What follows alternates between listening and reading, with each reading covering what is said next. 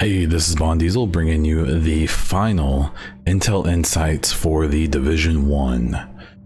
This one will wrap it up with the shields 9 through 12. I'm going to play the audio real quick and then I will talk about it. I'll wrap up the Intel Insights series and this will basically be the last Division 1 video I do. So enjoy and let's go. Ducky, we got a problem coming that no one's got a solution for. And sooner or later, it's gonna warm up and then we're gonna be in for a world of hurt. All those bodies that have been in cold storage, they are going to start to rot. And that means disease. Cholera, dysentery, stuff that'll kill you just as dead as green poison, and that'll move through a population just as fast. Besides, not like we got a stash of meds just sitting there waiting to be used. Once those secondary infections hit, it's gonna be bad, Dougie. Real bad. Here's the thing. For months, everyone's been waiting for this thing to be over with and for everything to go back to being normal. But that's not gonna happen. Normal is dead. Or maybe this is the new normal. We've lost too many people and too much time. It can't go back to the way it used to be. No way, no how. What we've got now is what we've got, period. And there's never going to be more than that. So everyone who's still dreaming that someday they'll be sipping lattes on the way into the cubicle jobs is just going to have to get over it. Those days aren't coming back. We might as well get used to the idea and deal with what's right in front of us instead.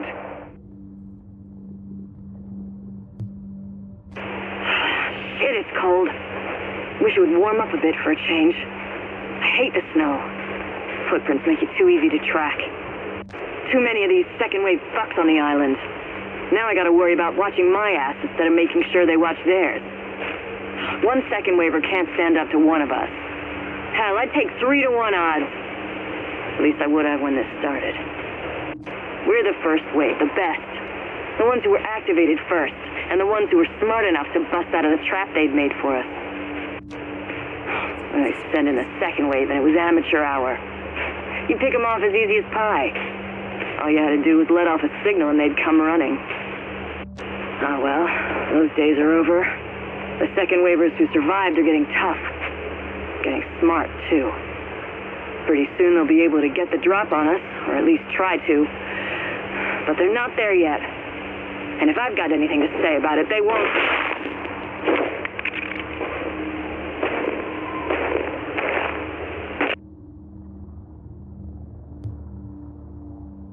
Do your people have everything they need? Really? You want to rephrase that question? You know what I mean, Felix. You got enough supplies to see you through the week. You got the gear you need to keep your place up and running. You got the people you need to make it work. Uh, building a self-sufficient community in the middle of Manhattan and the middle of all this is hard. We'll take all the skilled labor we can get. When I find good people, I send them to you. You know that. I know. And I appreciate it. Thanks to you, we've got a hydroponic specialist and she's taken over our farming efforts. Where you found her, I'll never know. I told you, the West Village. yeah, I'll take your word for it. I'm glad you believe in what we're doing here. It makes sense. We don't know how long things are going to be bad. People need something to look forward to. People need something to work for. People are going to need to survive if the supply drops cut off. Nah, I don't even want to think about that. But if the day comes, we'll be ready. I hope.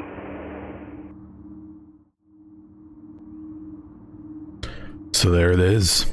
The Fang Prime, Marshall, and Chieftain recordings.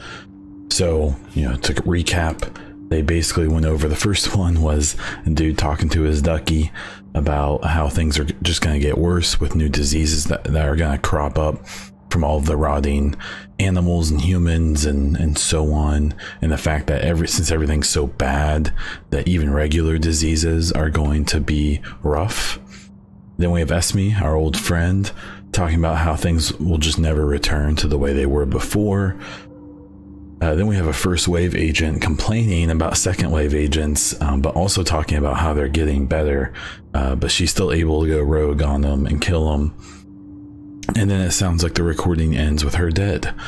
And then we have a couple people talking about building some sustainable communities in New York after, uh, you know, as, as, things move forward. Kind of going back to the second one, uh, just talking about how things are just never going to be the same. So th- these are interesting, I guess, kind of in the way that um, it's definitely kind of wink, wink, hinting, hinting towards Division Two, the settlements in Division Two, with uh, civilians who are much more self-sustaining and things like that. I, I have to admit that I was really hoping when they announced these shields, and once we realized the shields had audio logs, I really hope that at least the last few would really raise like some mystery or would raise some eyebrows and be like, oh boy, that's hinting to something. Um, and I have to admit that at the end of the day, I'm a little let down by them. Uh, I understand that maybe when they did these, they maybe didn't even have enough detail to go really heavy with the hinting and stuff.